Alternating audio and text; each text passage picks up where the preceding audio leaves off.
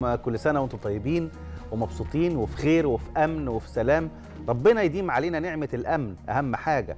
ويديم علينا الأفراح والأعياد والأيام الحلوة والأجواء المبهجة اللي بتملى كل بيوتنا. ودايما يا رب دايما مصر كلها في خير ومحبة وأمن وسلام. عيد فرحة زي. ما إحنا متعودين. طبعا. العيد فرحة وتزاور وصلة رحم ومعايدة على كل الناس اللي بتحبها ويا ريت المعايدة ما تبقاش بالبرودكاست أو الرسائل اللي إحنا بنبقى باعتينها لكل الناس الرسائل ملهاش لا طعم ولا لون ولا ريحة ولا بنحس حتى إن إحنا وحشين بعض ولا حتى بنعايد على بعض. رسائل بتبقى كده ثابتة مبقاش ليها أي طعم. يا ريت نرجع مرة تانية نزور بعض ونعيد على بعض حتى لو بس بالتليفون بس كل واحد يكلم الناس اللي بيحبهم كل شخص كده يكلمه ويعيد عليه واحد واحد بدل الرسائل ملهاش أي طعم. دي خلينا ندخل على بعض وعلى قلوب بعض الفرحة والسعادة والمعايدة. كان على كل أهالينا أصحابنا جيراننا. صح مصطفى ولا إيه؟ أنا أفتكر إن أنا قريت في الأهرام في أواخر التسعينات. كان حاجة بنقول يا جماعة ما ينفعش تمسكوا التليفون اللي هو التليفون أبو قرص. وتقولوا كل سنة وأنتم طيبين. روحوا زوروا قرايبكم وأهلكم. وبعد كده إحنا عمالين ننزل. يعني شوفوا جمانة بتقول ما بلاش الرسائل المعلبة اللي هي بتاعه الواتساب. طبعا جمانة عندها حق إن الرسائل دي ما فيهاش آه، أي ملهاش أي طعم. خالص. اللي هو أنت زيك زي غيرك. لا صحيح. أنا كل واحد آه، في بيني وبينه يعني آه، يعني شكل معين من الأشكال فكرة معينة بقولها له. يعني بفتكره بيها بكتبها له بيبقى في نوع من أنواع الخصوصية.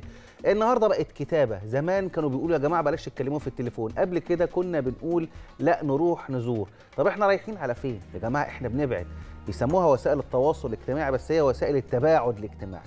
خلينا نقرب من بعض. العيد هو الأقارب هو الأحباب هم الأصحاب. أيام العيد هي فرصة كويسة علشان الأهل يتجمعوا مع بعض يخرجوا مع بعض. علشان الأطفال يفرحوا بالعيدية وأنا بعتقد إن فرحة الأطفال بالعيدية هي العيد. آه، الفرحة دي آه، والعيدية دي هي اللي بيستنوها من السنة من من السنة للسنة. ربنا يا رب يملى بيوتنا كلها بالبهجة والفرح علينا كلنا. طب فاكر أنت بقى أيام العيد وأنت صغير؟ كل اللي إحنا بنتكلم فيه ده الأطفال والفرحة والبهجة خروجاتنا مع بعض. بصي العيد بالنسبة لي زي ما كنا بنقول كده.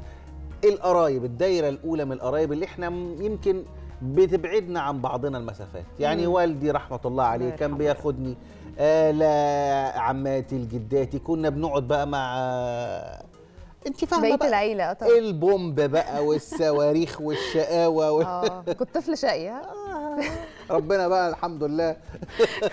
تاب عليه بتعمل إيه مع أولادك بقى يا مصطفى؟ والله أنا اولادي بنات فما عنديش نفس مساحة الشقاوة بس عايز أقول لك إن ضحكهم هو أجمل حاجة في الدنيا. طبعا ربنا يخليهم لك يعني أنا بقول إن صلاة العيد هي العيد. طبعاً. والبلالين والخروجة بتاعت بعد صلاة العيد مباشرة. وإنك تروح تشرب حاجة معاهم تخرج معاهم تتمشى معاهم شوية بالعربيه واللبس الجديد وبيجامة العيد. طبعا هو ده الع- هي هو ده العيد هي دي بعد كده العيد بقى إيه؟ بنروح بقى نزور ناس نروح مع بعض نخرج مع بعض مم. في حتة. لكن هو بشكل عام بيبقى العيد في البيت. أنا بحبه في البيت ما بحبوش يعني. بص هو أحلى حاجة في الدنيا إنك لما تيجي تتبسط أو تفرح أو تعيد ما يبقاش لوحدك. طبعا. يعني وإحنا بنتكلم على بيجامة العيد وعلى لبس العيد مم. اللي يقدر اللي يقدر إن هو وهو بيجيب لاولاده نجيب كمان طقمين ثلاثة يقدر يفرح بيهم أولاد تانيين بالعيد. الله عليك. هو. ده العيد فعلا ده حقيقي. اللي ما يقدرش يشتري جديد يقدر يطلع من الهدوم القديمة بتاعة أولاده أو بتاعته يفرح بيها أسرة تانية تعيد معاه وتفرح معاه. أهم حاجة المشاركة أهم حاجة إن أنت تحسس غيرك بالفرحة. الفرحة مش هقولك بقى بتبقى مضاعفة.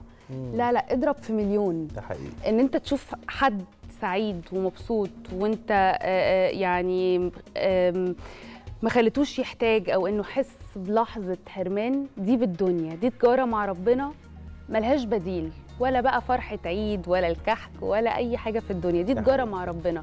على قد ما تقدر حاول تفرح غيرك ودي الفرحة الحقيقية. طبعاً. ده حقيقي طبعا على قد ما تقدر حتى لو ما تقدرش تعمل ده ب- بابتسامة حلوة على الصبح ببالونة بأي حاجة تقدر تساعد بيها طفل في الشارع أو حتى تقدر تساعد بيها رب أسرة في الشارع ده العيد الحقيقي. حاولوا على قد ما تقدروا إن أنتوا تساعدوا أي شخص قدامكم يعني. دي والله فعلا يا مصطفى بالدنيا. كنت عايز أقول لك فكرة آه، كان في حد كان كاتب حاجة وأنا عملتها بصراحة. بيقول إن الأطفال اللي هم في الشوارع وفي الإشارات ما تديهمش فلوس. لأن الفلوس دي هم هيدوها لمصدر تاني. ما نعرفش مين المصدر التاني ودي مش قصتنا اللي بنتكلم فيها. حط بونبوني حط شوكولاتات صغيرة. الحاجات دي هم ما بيعرفوش يجيبوها. لو اديتها لهم هتشوف كم سعادة على وشهم هيفتح أبواب الرزق طبعاً. معاك وهيديك سعادة وفرح. أنت اللي محتاجها على فكرة أنا جربت. ده. والله أنت اللي محتاجها أكتر منه بكتير. أنا جربت ده أنا عملت ده. أنا خليت فيه كيس فيه شوية حلويات في عربيتي وبدأت أعمل ده.